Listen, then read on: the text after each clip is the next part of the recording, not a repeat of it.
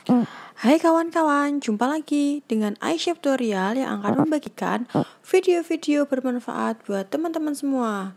Kali ini Aisyah Tutorial akan membagikan bagaimana cara mengatur ukuran kertas pada saat di print.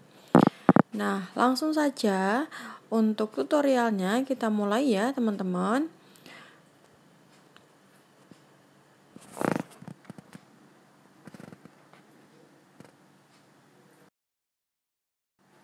Oke teman-teman, langsung saja kita buka filenya yang sudah disiapkan. Nah, langsung terbuka ya teman-teman untuk filenya. Kemudian pilih eh, dokumen yang akan di print dengan cara semua di blok ya teman-teman. Oke, semua di blok sampai sini. Kemudian pilih page layout, kemudian print area. Nah, kita atur print areanya dulu. Kemudian kita pilih file, kemudian print. Nah, selanjutnya untuk mengatur ukuran kertas kita bisa langsung ketik di di menu ini ya teman-teman ya ada uh, berbagai macam untuk ukurannya. Nah, kita langsung saja untuk membuat ukuran A4. Nah, seperti ini ya teman-teman ya kalau A4.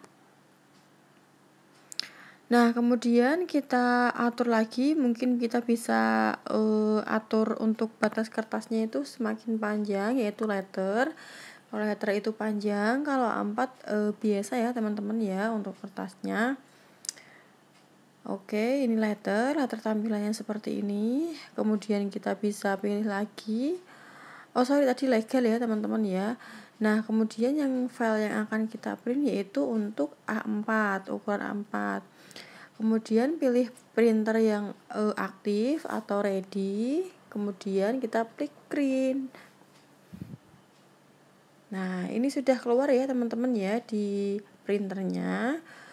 Oke, cukup. Terima kasih ya teman-teman ya sudah menonton video kami. Jangan lupa like and subscribe untuk melihat video-video selanjutnya dari Aisyah Tutorial.